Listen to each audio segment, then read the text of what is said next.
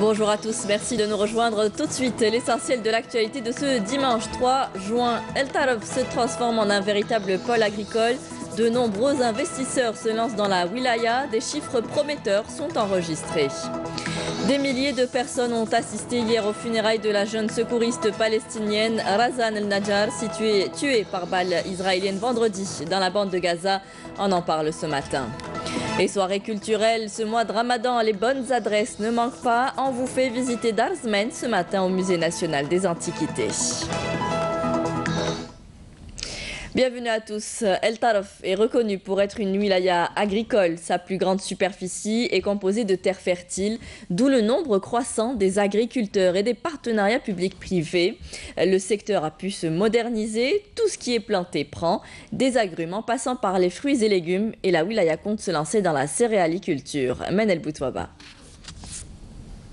Les autorités d'Attaref accordent une importance toute particulière au secteur de l'agriculture, considéré comme la colonne vertébrale de l'économie locale ici, avec 60% de la superficie de la wilaya consacrée au secteur. Il faut dire que dans le domaine, elle a tout pour elle, terres fertiles et pluviométrie record. Les exploitations agricoles s'y multiplient à vitesse grand V, fruits pour la plupart de partenariats publics-privés, ce qui a permis de moderniser le secteur un boom est constaté dans la branche des agrumes notamment. Au courant de ces quatre derniers mois, nous avons planté 33 hectares d'agrumes comme le citron et la clémentine. Pour moi, l'agriculture est vitale. Elle est le vrai pétrole de l'Algérie. J'appelle tous les jeunes qui me regardent à s'intéresser à ce secteur et je leur souhaite de réussir, autant, voire plus que moi, car l'agriculture est l'avenir de notre pays. La région compte également chaque année une production record de tomates industrielles et se lance dans la nouvelle aventure de production de semences de blé.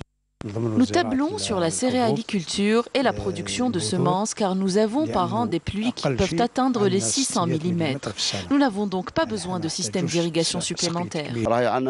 Si la capacité de production des usines de transformation est augmentée et qu'elles peuvent dans un avenir proche absorber toute la production, nous pourrons alors atteindre les 600 hectares de surface agricole exploitée. Autre défi que se fixent les autorités locales ici, développer la branche des légumes secs qui n'en est qu'à ses premiers balbutiements, mais promet des résultats assez satisfaisants à l'avenir. Dans les prochaines années, il est prévu de réserver plus de 200 hectares à la culture des lentilles et des pois chiches. Une véritable révolution est en marche à Taref. La politique de redressement du secteur agricole lancée il y a quelques années déjà commence visiblement à porter ses fruits.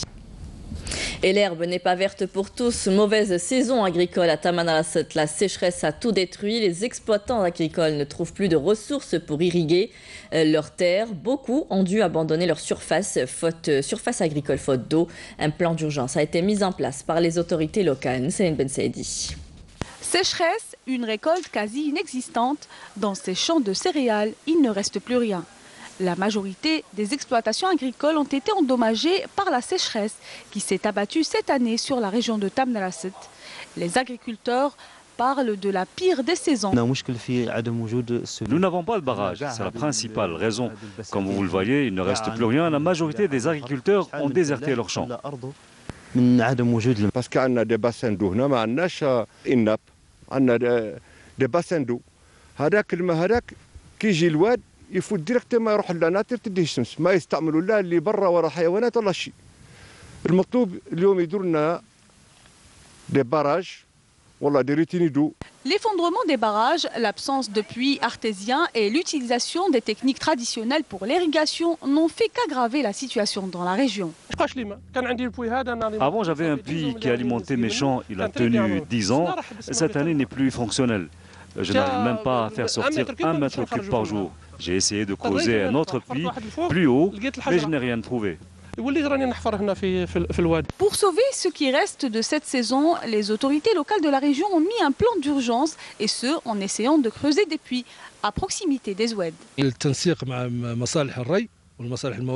Nous avons collaboré avec les services d'irrigation et des ressources en eau afin de trouver les endroits où il y a de l'eau souterraine pour creuser des puits.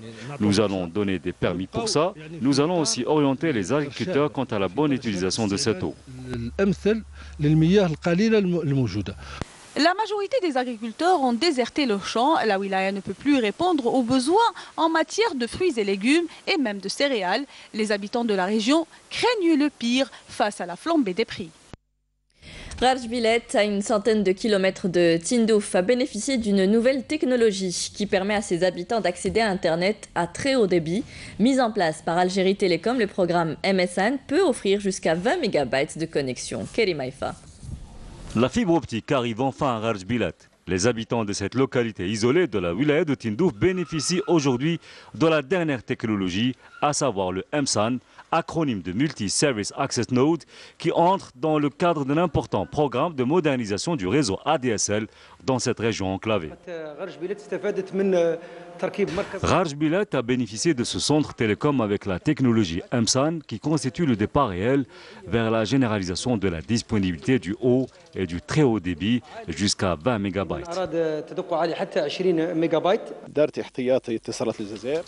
Algérie Télécom a pris ses dispositions pour généraliser cette technologie, notamment avec l'installation prochaine de plusieurs entreprises dans la région. Donc tout est prévu pour offrir cette technologie de pointe à ces entreprises. Le quotidien des habitants de la région a considérablement changé depuis le lancement de cette technologie. Maintenant, il suffit d'un simple clic pour accéder en un clin d'œil à ses sites favoris. Maintenant, les choses ont changé. La connexion Internet est vraiment meilleure. En plus, la 3G passe très bien ici. L'intérêt du système MSAN consiste à rapprocher au maximum les équipements du client. Plus l'équipement est proche de l'abonné, meilleure est la qualité des prestations et la satisfaction des clients. La sclérose en plaques est une maladie auto-immune causée par un ensemble de facteurs génétiques et environnementaux.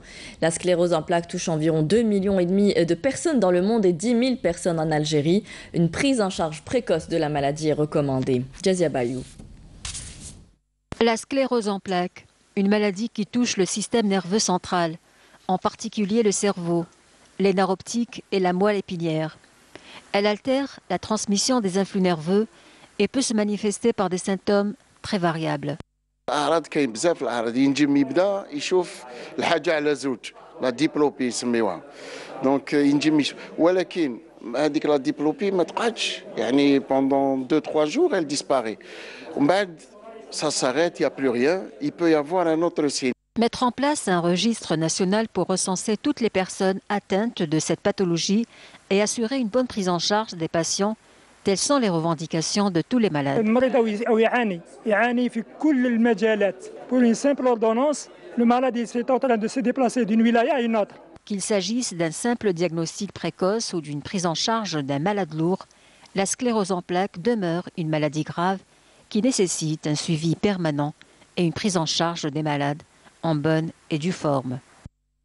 Dans le cadre de la lutte antiterroriste, un détachement de l'ANP a découvert, suite à une opération de fouille et de recherche menée le 2 mai dernier à Skikda, cinq abris pour terroristes contenant 7 obus de mortier de calibre 60 mm, un fusil à pompe, trois bombes de confection artisanale, 110 litres de produits chimiques, de l'ammonitrate rentrant dans la confection euh, des explosifs, ainsi que plus de 1000 balles de différents calibres, des outils de détonation, des plaques photovoltaïques, une importante quantité de vivres, des médicaments, des vêtements et divers objets selon un communiqué du ministère de la Défense nationale.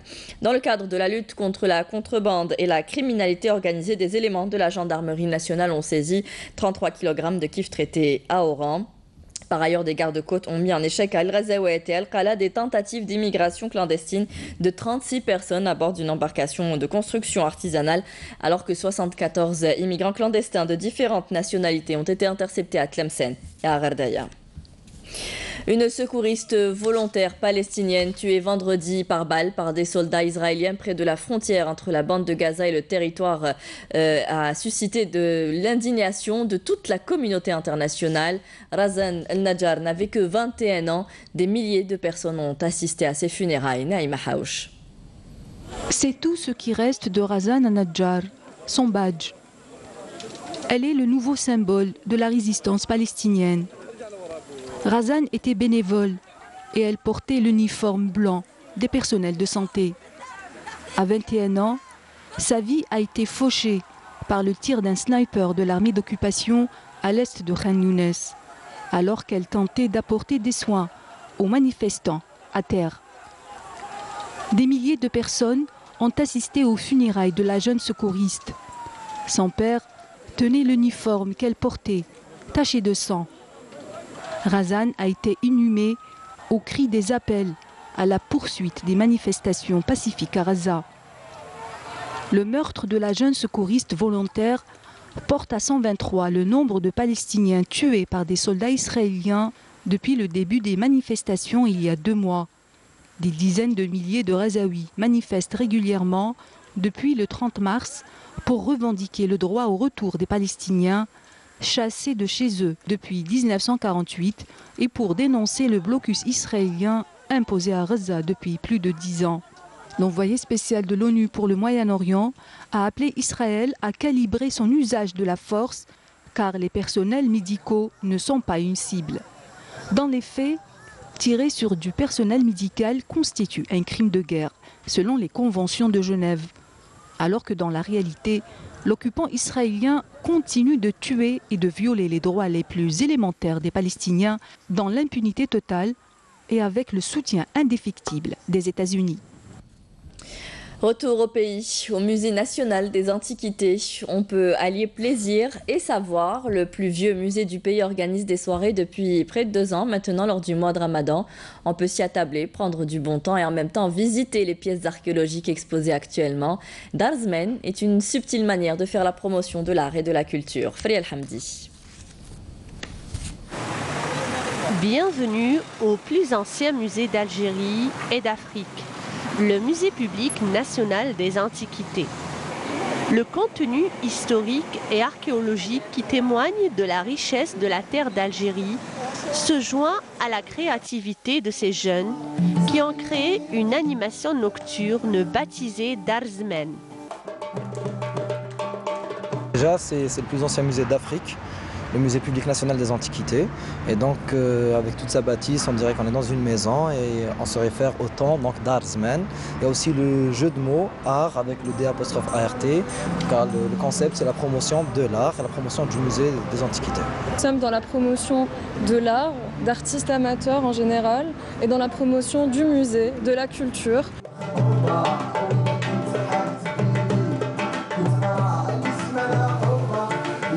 Le concept d'Arzmen est un événement culturel visant à promouvoir le musée et aussi à donner un espace de création artistique pour les jeunes artistes prometteurs dans tous les domaines.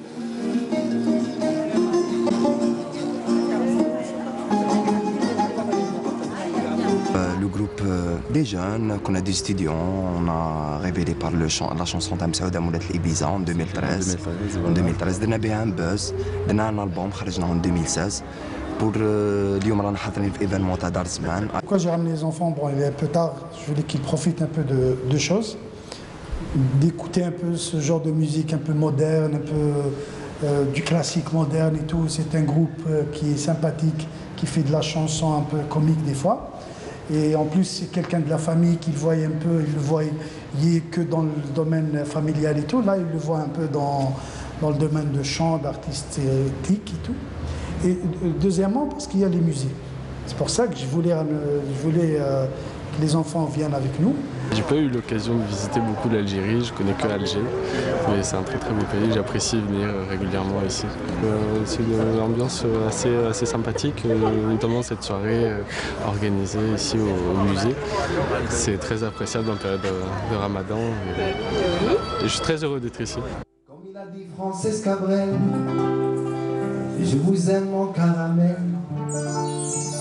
C'est une ambiance assez sympathique ça fait plaisir de pouvoir, euh, pouvoir participer à, comment dire, euh, de sortir entre amis, euh, profiter.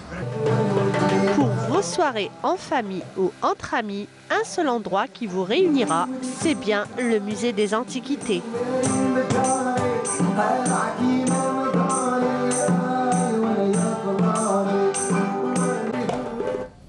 La quatrième édition du Grand Prix El Hashmi Garwabi de la musique Shabi est revenue hier à Mened Shublel. L'événement organisé cette année à Béjaïa a été institué, je vous le rappelle, en hommage à ce chantre pour encourager les jeunes talents.